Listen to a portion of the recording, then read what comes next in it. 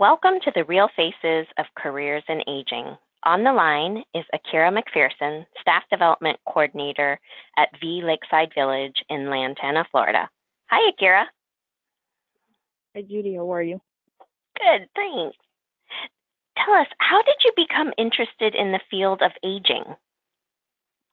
Well, I became interested in the field of aging because I grew up around my grandparents and other older adults, and I've had the opportunity to see them go through various stages from being independent to whereas they became dependent upon, you know, family members and myself to assist them with certain care needs um, or responsibilities.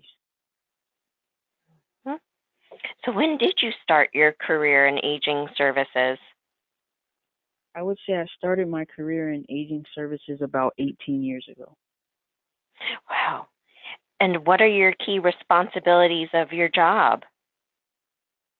Uh, my key responsibilities are various things, such as employee health. Um, I provide leadership in formulating facility wide trainings and educational goals and objectives.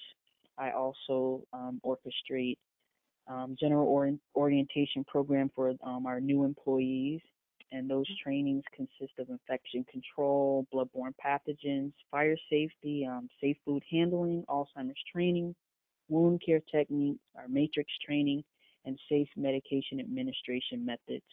I also am responsible for maintaining um, current clinical knowledge and knowledge of, you know, our nursing home licensure requirements in order to ensure that the educational information is accurately provided um, to staff that are currently working here in the facility.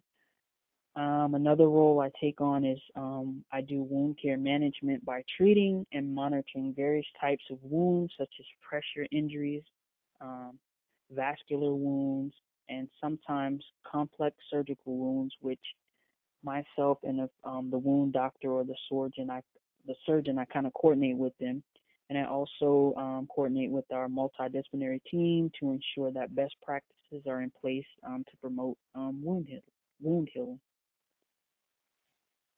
Oh, that's amazing. So, last question What is the best part about your job?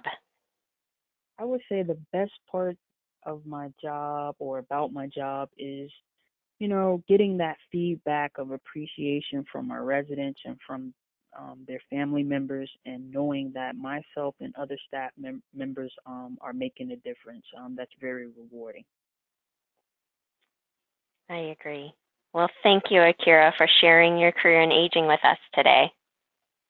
Well, thank you for having me.